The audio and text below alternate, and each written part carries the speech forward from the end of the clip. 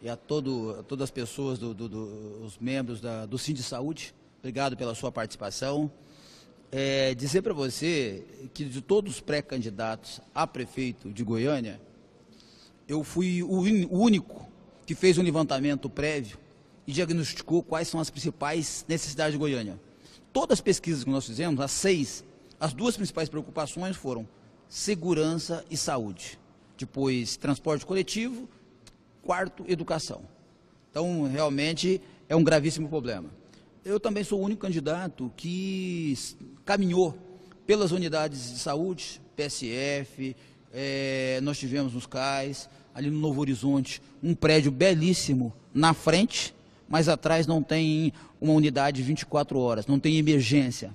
Então nós, nós, caminhamos. Eu fui numa unidade na Vila Nova, onde a atendente, a enfermeira, disse: Olha, meu sonho de consumo é que o atual prefeito Paulo Garcia venha aqui para tomar uma injeção, porque o, o, o, o pulsor que foi comprado é de quinta qualidade. Se você colocar na veia da pessoa, ao injetar, eu não sei se vou usar os termos corretos, se não usar você me corrige, é, ele tem que fazer uma, um movimento e arrebenta com a, com a pessoa dentro. Por quê? Porque o produto é de péssima qualidade.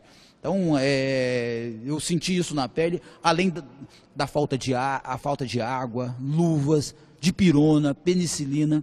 E você falou da questão da prevenção. Nós tivemos há poucos dias um surto de dengue, agora de caranguejos, chikungunya. O que, que é isso? Faltou o básico em Goiânia e no estado de Goiás. Aí lembrar para você, que o atual governador não é, eu não sou o candidato dele. Os dois candidatos dele é o Francisco Júnior e o Vanderlan. Né? E que nós queremos ter um compromisso. Como nós teremos com a educação, nós teremos com a saúde. Eu fui recebido essa semana também é, pela Associação Médica, os sindicatos médicos e também pela academia. E eles trouxeram para nós algumas propostas entre as quais a questão é, de um dos membros dessas entidades no IMAS, e também quero do sindicato amanhã, numa eventual gestão nossa, eu quero que um representante de vocês faça parte. Não vai ser cabide político, não. Então, vai ser colocado pessoas técnicas e eu quero a parceria do do, dos sindicatos. Então, eu sei que hoje Goiânia vive uma questão de calamidade, sou como eu disse anterior na área da educação, sou radicalmente contrário à terceirização às OS na saúde. E eu até me surpreendi há poucos dias atrás, que nós tivemos uma ação do Ministério Público Federal na Secretaria Municipal de Saúde, onde havia indícios do envolvimento do atual secretário de Saúde, que é sobrinho de Íris Rezende, e o PT, e o atual prefeito, não afastou ele do cargo.